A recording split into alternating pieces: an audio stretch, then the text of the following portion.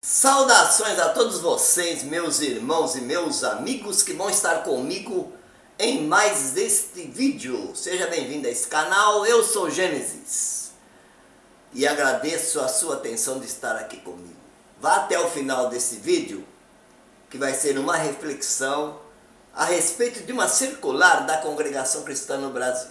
O que, que acontece? A congregação ela sempre teve um costume de ajudar somente os seus membros em toda catástrofe, em toda coisa que acontece, né? Que afeta é, a população total ali das cidades. A congregação sempre foca na querida irmandade. Quer dizer, eles focam nos membros da igreja deles e deixa os outros em segundo plano. Então, isso sempre aconteceu, mas a congregação soltou uma circular no dia 16, que pelo que eu entendi aqui, ela está mudando de atitude, mudou de atitude. Talvez, talvez para é, mudar uma certa impressão que ficou de uma circular anterior, ok? Ou de coisas que os anciãos falaram em cima dos púlpitos, porque o Cláudio Marsola e os outros anciãos, eles falaram o seguinte, que a Irmandade lá do Rio Grande do Sul, a querida Irmandade, toda estava fechada, todos os irmãos da congregação estariam fichados, todos eles estavam sendo atendidos, já estavam catalogados, né, para receber ajuda. Então todos estavam catalogados para receber ajuda e ficou uma coisa meio exclusivista assim, né? Como assim? É só a Irmandade da congregação? É, as outras igrejas, o governo, todas as outras pessoas que estão ajudando no Rio Grande do Sul não estão ajudando só a igreja deles ou só os parentes deles, estão ajudando também a irmandade da congregação. Então, por que, que a congregação só vai ajudar os membros da congregação? Né? Isso pegou mal, pegou muito mal. E há muito tempo que a congregação tem essa atitude, ok? Mas então a congregação soltou uma circular agora no dia 16 que ela muda um pouco a conotação disso, eu vou ler para vocês. Presta atenção. Circular em PDF, caros irmãos, a paz de Deus. Conforme circular 98-2024, publicada no último dia 6 do 5, que era essa circular que falava sobre a inundação e posteriormente republicada, orientávamos na ocasião sobre a forma de contribuição da Irmandade para atender nossos irmãos do estado do Rio Grande do Sul.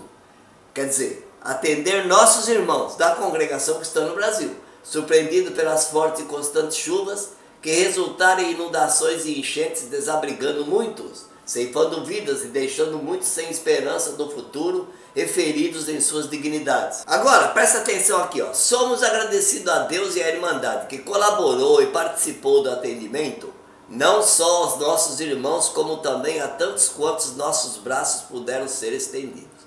Foram atendidos com roupas, água, alimentos, cobertores, colchões, abrigo e muito carinho. Vocês entenderam? Então aqui nessa circular, eles já colocaram que não foi só a Irmandade, que a todos quanto eles conseguiram ajudar também, mesmo que não fosse da querida Irmandade, eles ajudaram. Eu acho, eu penso assim, nunca, jamais numa circular os anciãos colocaram uma coisa assim, que ajudaram pessoas que não foram, não eram da congregação.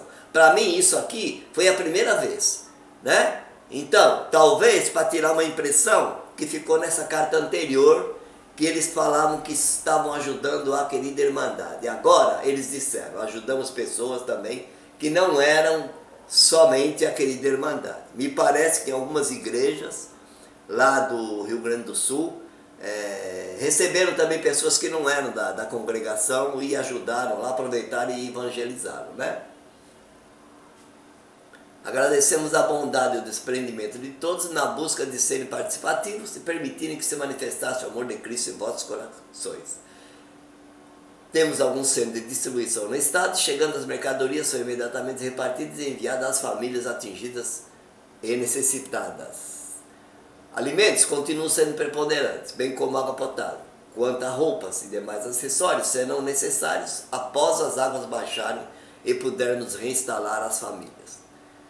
Reiteramos que os valores devem ser feitos conforme a circular 198, publicada em nosso site como também através da conta Pix abaixo indicada. Quer dizer, em dinheiro eles proibiram a Irmandade de para mandar Pix para pessoas que não forem à congregação cristã no Brasil. O Pix é para mandar só para a congregação cristã no Brasil. Então, é o seguinte, eu acho que a congregação está aprendendo, ou está aprendendo, ou fez isso para tirar o mal entendido, a má impressão que ficou da carta anterior, e também do que eles falaram no público, só estava ajudando ali a querida Irmandade. A querida Irmandade está toda fechada, está toda sendo atendida. E os outros? E os outros? Porque as outras igrejas, as outras pessoas também ajudaram a querida Irmandade. Entendeu? Não foi só a congregação que ajudou. Então é isso aí, parece que a congregação está aprendendo aos poucos, né? E é assim mesmo, apanhando e aprendendo. Fiquem na paz, volta em breve.